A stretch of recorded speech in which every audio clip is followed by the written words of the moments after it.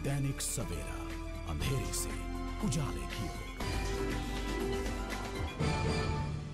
Amritsar police द्वारा China डोर के खिलाफ चलाई गई मुहिम के तहत थाना मोहकमपुरा की पुलिस ने गुप्त सूचना के आधार पर कार्रवाई करते हुए संजीव कुमार निवासी पवन नगर को काबू किया है। संजीव कुमार दशमेश नगर में एक दुकान चलाता है, जहाँ पर छापेमारी कर पुलिस ने दुकान पर बेचने के लिए लाई गई भारी मात्रा में चाइना डोर बरामद की है।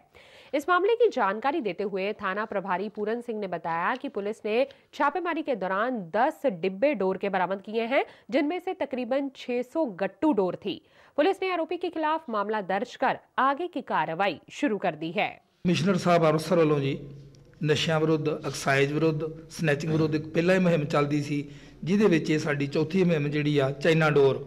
ਵੀ ਸ਼ੁਰੂ ਹੋ ਗਈ ਆ ਉਹਦਾ ਕਾਰਨ ਸਭ ਤੋਂ ਜ਼ਿਆਦਾ ਵਾ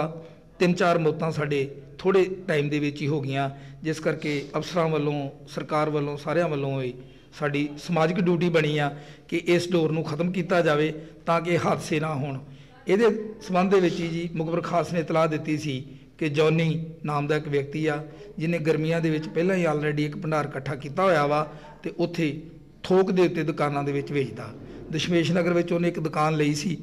ਜਿੱਥੇ ਜਾ ਕੇ ਰੇਡ ਕੀਤਾ ਗਿਆ। ਉੱਥੋਂ 10 ਪੇਟੀਆਂ ਇਸ ਪਾਬੰਦੀਸ਼ੁਦਾ ਡੋਰ ਦੀਆਂ ਫੜੀਆਂ ਗਈਆਂ ਵਾ, ਜਿਹਦੇ ਵਿੱਚ ਕਰੀਬ 600 ਗੱਟੂ ਡੋਰ ਵਾ। ਉਸ ਤੋਂ ਇਲਾਵਾ ਖਾਲੀ ਪੇਟੀਆਂ ਉੱਥੇ ਕਾਫੀ ਜ਼ਿਆਦੀਆਂ ਪਈਆਂ ਸੀ, ਜਿਹੜੀਆਂ ਕਿ ਉਹ ਪਹਿਲਾਂ ਵੇਚ ਚੁੱਕਾ ਵਾ।